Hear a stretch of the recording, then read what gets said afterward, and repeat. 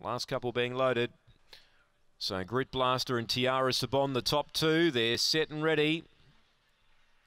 Ready now, racing. Well, the speed came in the middle here. Hayride Reed's going to lead. It's really tight, though. Joining it was Baby Brook, the outside, and they get away from Late Missile. Tiara Sabon and Grit Blaster in bother with Chance Perfected. So railing up Late Missile is after Hayride Reed. Hayride Reed out deep. Late Missile, the rail. Hayride Reed, Late Missile. Well, they're wide apart. If I had to pick the inside Late Missile, but they're very wide apart. Uh, Tiara Sabon's in a photo with Baby Brook for fourth, uh, for third and fourth. Then Chance perfected and Grit Blaster had no luck. This is close. They're wide apart. Inside is Late Missile. Outside Hayride Reed. Um, there you go. The outside's got it. Hayride Reed. Hayride Reed has got it. Has nabbed Late Missile.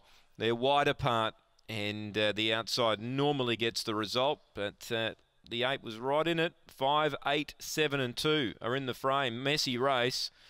Both Grit Blaster and Tiara Sabon didn't come out, and that changed the race completely. Hayride Reed wins by half a head on the line from number eight, Late Missile. They were worlds apart.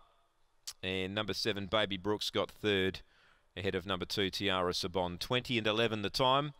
And uh, that is the last event. So busy finish to end the day. And the outside has got up Hayride Reed to uh, win the last event. We stand by for the all clear.